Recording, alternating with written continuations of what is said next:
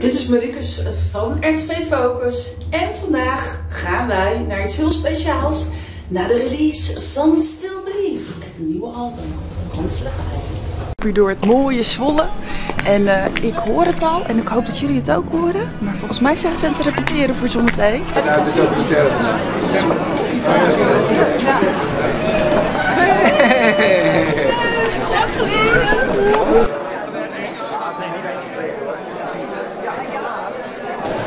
Ga je mooie foto's maken?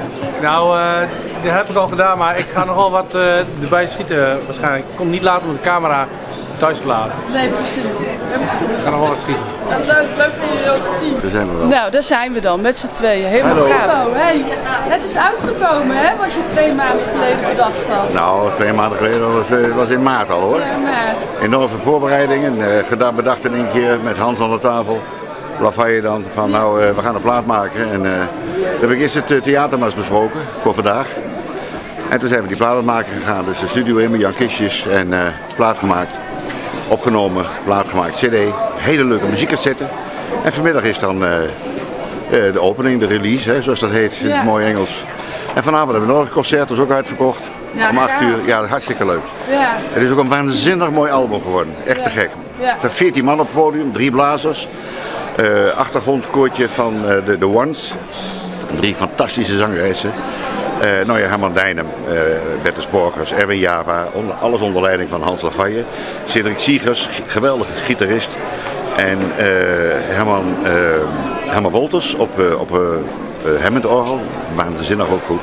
En Feiko Nij- Nijdam, geweldige bassist. Dus ja, eh 14 man op het podium. Dat moet lukken toch? ja helemaal. Ja. We horen allemaal rare geluiden, maar ze zijn aan het inzingen backstage. Dus eh, allemaal leuke voorbereidingen en dat ga ik jullie laten zien. Leuk! Ik ben hier bij eh, de achtergrondzangeressen beland, toch? Ja. Ja, gaaf.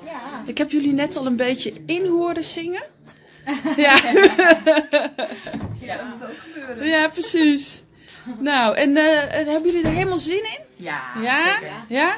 Absoluut. Het is al heel druk, hè? Ja, Ik, ik, heb, ik heb wel gezien dat de hele zaal zit vol. Hallo mannen. Zijn jullie, Hi. Zijn jullie er klaar voor? Ja. Nou mensen, hier gaat het dus allemaal gebeuren vanavond. Ik sta dus nu op het hoofdpodium. Maar ze gaan optreden.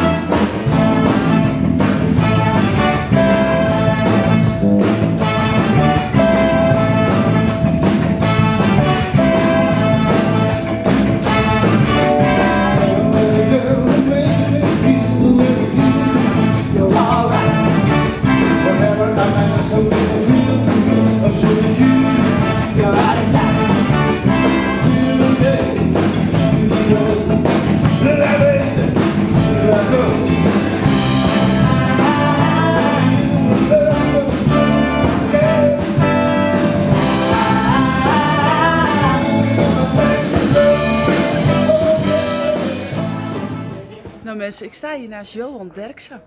Eindelijk gevonden, leuk. Je gaat zo meteen het album eh in ontvangst buiten te roken. hè? Ja, ja, klopt. Een sigaartje, hè? Ja, Ja, lekker. En uh, zometeen ga je het album eh, in ontvangst nemen?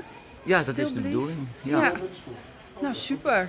ik, eh, ik hoor bij die oudere jongere doelgroep die dit leuk vindt, Ja. hè, deze muziek. En Ja. eh, we horen het niet op de radio, we zien het niet op tv, dus je moet altijd de deur uit. Ja, precies. Nee, leuk hoor. Echt heel gaaf. En het is gelukt, hè, met die Herman Broodsteeg. Jazeker, Ja. nou, het had voor mij wel een pleintje mogen zijn, Ja. maar we zijn niet vervelend, hij heeft zijn eigen straatje. Ja, precies. En, Waar, eh, eh, Johan? ik heb geen idee waar het is, maar het schijnt in Zwolle te zijn. Het is hè? in Zwolle. Ja. Ja. Ja. Ja. Ja, dicht bij het eh, Kerkbrugje volgens mij. Dus Oké. eh, populaire plek. Dus het komt helemaal En goed. dat past ook wel bij Herman, een hè? een beetje een obscuur steesje. Ja, precies. Lekker.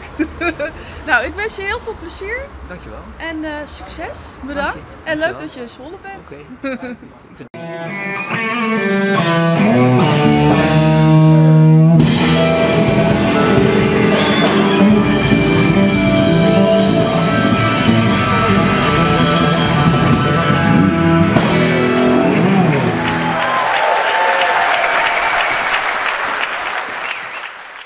Nou, beste mensen, ik hoop dat jullie genoten hebben van deze 27e eh, Kunst in de Kijker Special Edition.